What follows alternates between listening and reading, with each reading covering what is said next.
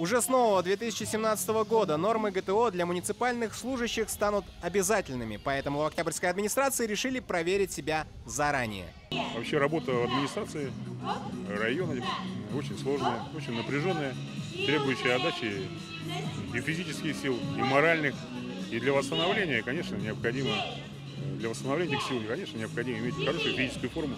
Поэтому каждый работник администрации, я думаю, сегодня покажет, на что он способен.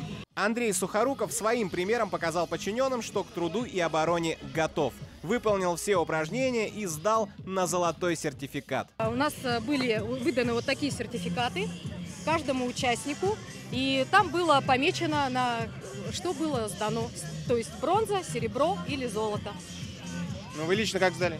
Я сдала на серебро, у меня чуть-чуть маленько не хватило в прыжок в длину. В программе подтягивание, рывок гири, прыжок в длину, наклоны вперед из положения стоя, а также отжимания и пресс. Раньше я, конечно, сдавала норму ГТО. Вспомнила молодость. Это очень хорошо для здоровья, для поддержания своей физической силы. Ну и для настроения. 70. Что он на рекордовый? Ну сейчас, когда выполнили упражнение, пожалуйста, нам пару слов, просто ваши впечатления по нормам сдачи ГТО. Ну, нужно заниматься. Нужно постоянно заниматься спортом. Этого не хватает, так думаю. Ну, вот, например, гири я вообще никогда в жизни даже не пытался пробовать. Хотя занимаюсь спортом всю жизнь тоже. Стрельбой из лука, правда.